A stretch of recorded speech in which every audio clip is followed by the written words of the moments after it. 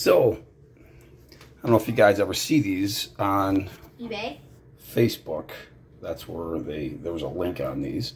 There's a whole bunch of different kinds. This is the rocket ship.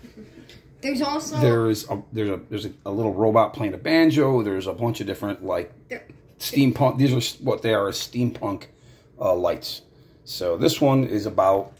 This is my hand. So this is about uh, I'd say about total of uh, ten inches long, maybe Just nine inches long, and about. Uh, and about yo high. They're probably it's probably about ten inches high. and So, and it comes in a couple pieces. This whole piece comes together.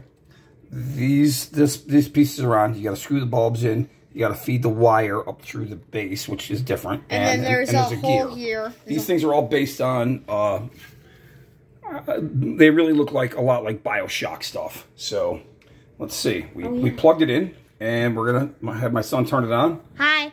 and see, Oh yeah, that's sick. check that out.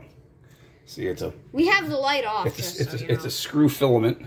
Kitty look, and the rocket ship um has um the the, filaments. the flame bulbs see them Yeah, so it looks like like the rocket ship is taking off it's pretty cool go turn the light on real quick santino so we can so we can Can I show the kitty? no go turn the light on real quick so we can i can sh- see what's see if i can show them the, the the bulb. Let me turn this off real quick again.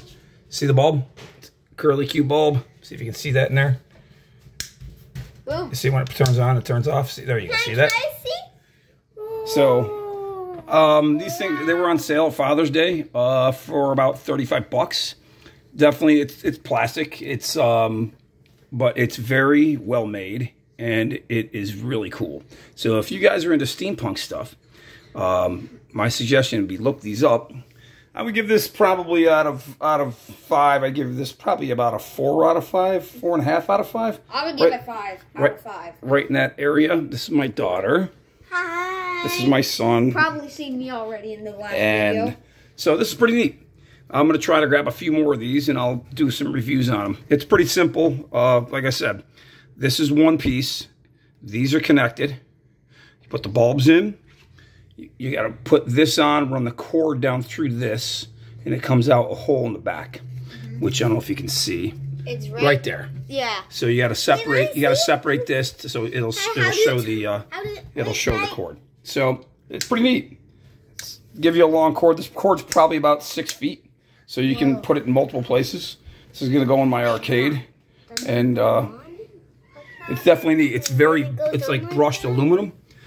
Uh, look to it like that like that old school like you know like just like rustic brushed aluminum. Like I said, Bioshock. If you guys played Bioshock that this definitely fits that. So I'll put a link in and see if I can find it. And so you guys, if you decide to want them, then it's definitely going to be a uh, something that's really neat. I think it's pretty cool.